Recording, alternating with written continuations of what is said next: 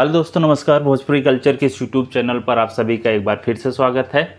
आज की इस वीडियो में हम आपको बताने वाले हैं भोजपुरी सुपरस्टार अरविंद अकेला कल्लू की भोजपुरी फ़िल्मों के बारे में।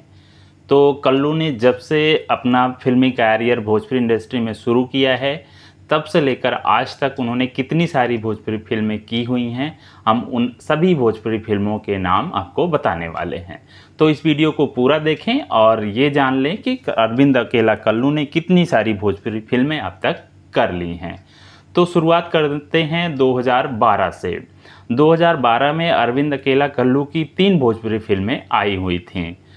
जिनके नाम हैं कलुआ भैल सयान तुम्हारे प्यार की कसम, कहानी किस्मत की।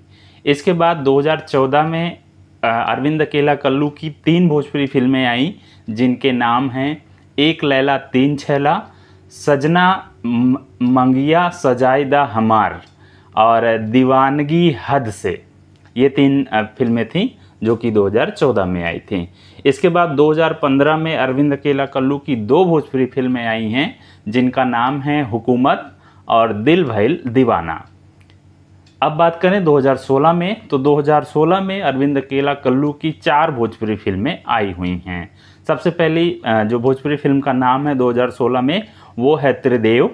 इसके बाद बलमा बिहार वाला टू, और फिर है धड़केला धड़केला तोहरे नाम करेजवा इसके बाद जो भोजपुरी फ़िल्म है, उसका नाम है दिलदार सजना।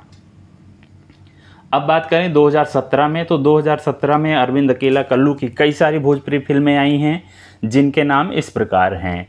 रब्बा इश्क न होवे, सैया सुपरस्टार, स्वर्ग, त्रिशूल, इंडिया वर्सेस पाकिस्तान और रंग। ये 2017 की फ़िल्में थीं। अब बात करें 2018 की तो 2018 में अरविंद अकेला कल्लू की तीन भोजपुरी फ़िल्में आई हुई हैं जिसमें से एक नाम है आवारा बलम इसके बाद सरकाई लोग खटिया जाड़ा लगे। ये भी एक भोजपुरी फ़िल्म थी जो कि अरविंद अकेला कल्लू ने 2018 में की हुई है।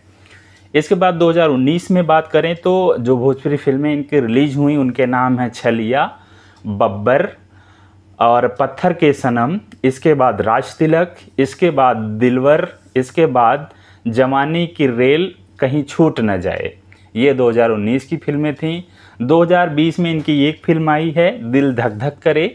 इसके बाद 2021 की बात करें तो आन बान शान भोजपुरी फ़िल्म है, जान भोजपुरी फ़िल्म है, शुभ घड़ी आयो है, सीता और गीता भोजपुरी फ़िल्म है, प्यार तो होना ही था, ये भी एक भोजपुरी फ़िल्म है। इसके बाद कल्लू की दुल्हनिया, जो कि काफ़ी अच्छी भोजपुरी फ़िल्म है, वो 2021 में। और फिर है प्रयागराज भोजपुरी फ़िल्म, जो कि 2021 में आने वाली थी, लेकिन फ़िलहाल ये 2022 या 2023 में फ़िल्म रिलीज़ हुई।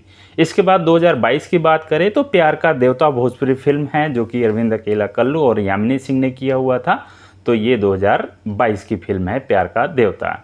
इसके बाद 2023 की फ़िल्मों की बात करें तो शादी बाई चांस है, जिसमें अरविंद अकेला कल्लू और प्रियंका रेवड़ी काम कर रहे हैं। इसके बाद सपना अपना सपना अपना अपना, ये भोजपुरी फ़िल्म है। जिसमें अरविंद अकेला कल्लू के साथ काजल राघवानी काम कर रही हैं। फिर एक जो बहुचर्चित भोजपुरी फ़िल्म है, जिसका नाम विद्यापीठ है, इसमें अरविंद अकेला कल्लू के साथ आयुषी दत्त तिवारी, जो कि शायद न्यू एक्ट्रेस होने वाली हैं भोजपुरी इंडस्ट्री की, वो इसमें काम कर रही हैं। फ़िलहाल भोज, इस विद्यापीठ भोजपुरी फ़िल्म का ट्रेलर आया हुआ है, और फ़िल्म की रिलीज़ अभी नहीं हुई है। इसके बाद बात करें तो शादी मुबारक भोजपुरी फ़िल्म है, जो कि काफ़ी अच्छी इनकी फ़िल्म है अरविंद अकेला कल्लू की, जिसमें अरविंद अकेला कल्लू ने अम्रपाली दुबे के साथ पहली बार काम किया हुआ शादी मुबारक में। इसके बाद एक और भोजपुरी फ़िल्म है 2023 की, कौन अपना कौन पराया भोजपुरी फ़िल्म है। तो ये हैं 2023 की अरविंद अकेला कल्लू की भोजपुरी फ़िल्में। तो आपको जैसा कि हमने बताया 2012 से या अरविंद अकेला कल्लू ने कितनी सारी भोजपुरी फ़िल्में की हैं, वो सारी लिस्ट में हमने आपको बताई हुई है।